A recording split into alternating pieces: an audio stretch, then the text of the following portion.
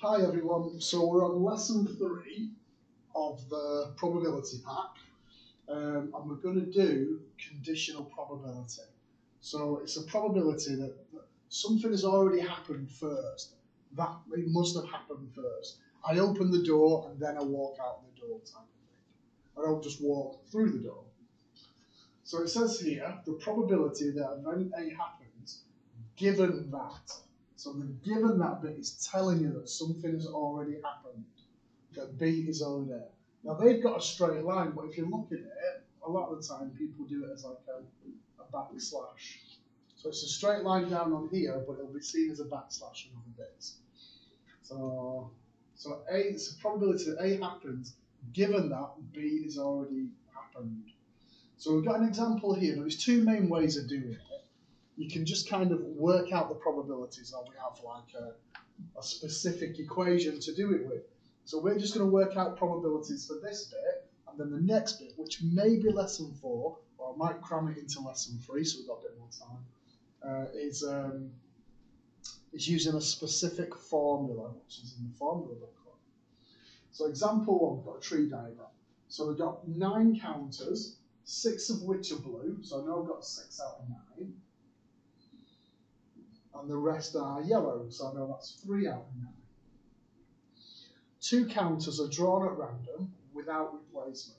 So it's the without replacement which is the important bit. That's what makes it conditional, because we've taken something out, and the next bit has to have happened after the first bit. Whereas if they're independent, it do not really matter. So if I take out a blue, I'm down to five out of eight. Now that probability is switched. It's changed. Those outcomes have changed because I picked a blue. And that'd be just a three out of eight. But if I did the bottom one, because I picked a yellow, I'm down to two left out of eight. So that's been conditional because it's been given that the, the yellow has been taken out. So it's linked to it. It's linked to what's happening beforehand. Now, what I could do is this B2 which can be written, and this is like, I remember doing this at school when, when I was at college, and I had a really, really bad teacher who taught me stats, hated stats, absolutely hated it. He just read from the textbook.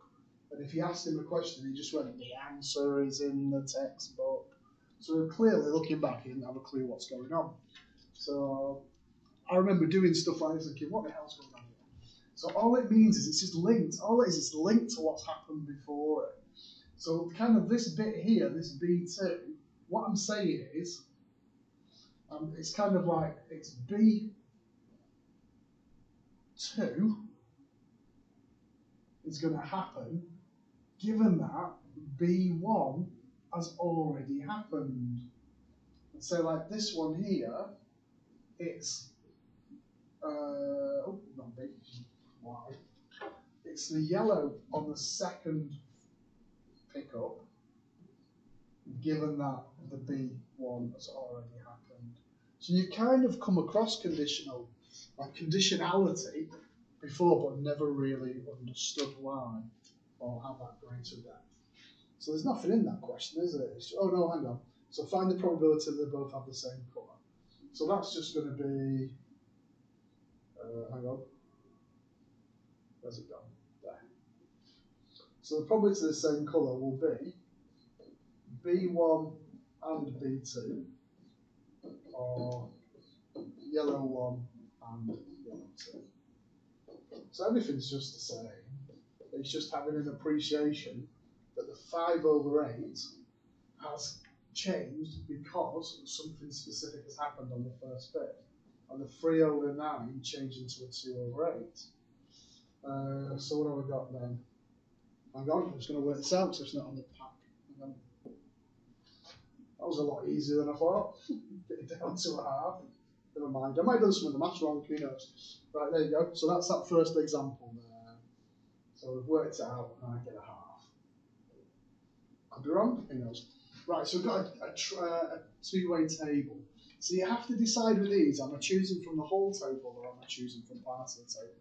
So it helps to have some totals so what have I got? So I've got 19, 21, 27 people play forward. uh, 15, 17, 23 people play back. So in total, I've got 50 people there. Got 12 Irish, 4 Scots, uh, 12 Welsh, and 22 English. So what I'm going to think about, if it wasn't conditional, I'm choosing out the full 50. If it is conditional, I'm choosing out the people that I want. Right, so part A says um, calculate the probability that the player is English. So the player being English is just 22 out of 50, so 11 out of 25. Uh,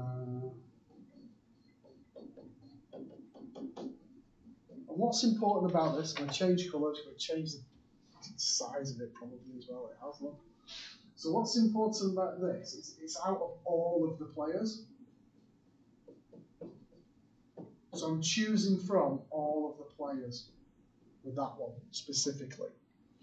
Whereas with conditionality, oh look, it's just stayed there. I'm choosing out of just specific people. So B says it's Irish, given that the player was a bank. So I want the probability of them being Irish, I for Irish, given that the player is a back. Now I'm only choosing out of the backs. So let's have a look. So if I'm choosing just out of the backs, I'm choosing for part B just out of here. So Irish is six people out of 23. And once again, this is nothing new. It's nothing new for you. Um, hang on, let me change that. Oh god, it's changed those. But I'm also I'm only out of, so it's only out of, of. So you've probably done it before, but it's just kind of having that formality to say actually I'm doing something slightly different. So C says the probability of a forward, given that the player is not Scottish. Right, so uh, I'm picking out of the people who are not Scottish. So there's only four Scottish people, so I know I'm choosing out of 46 people who are not Scottish. And then how many forwards have I got in the people who are not Scottish? So that's 25 people. The 14, the 5, and the 6. That's 25 people. So I'm going to, oh, stuffed up there now, so I can change the size. I've got to remember to do that instead of pressing the button down below. Not that you're much bothered. So this is only out of not Scottish. I hope that kind of made sense on how I selected those numbers. Now there's one for you to have a go at. So I'll give you a little bit of time to have a go at that one. So put your totals in. Um,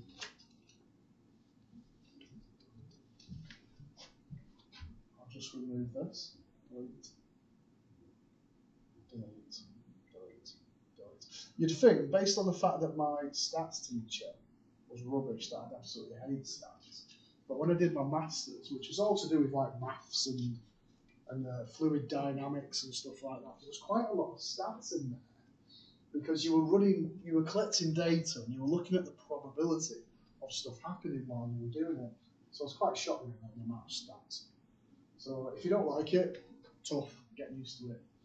So there's, there's, there's it, there you go.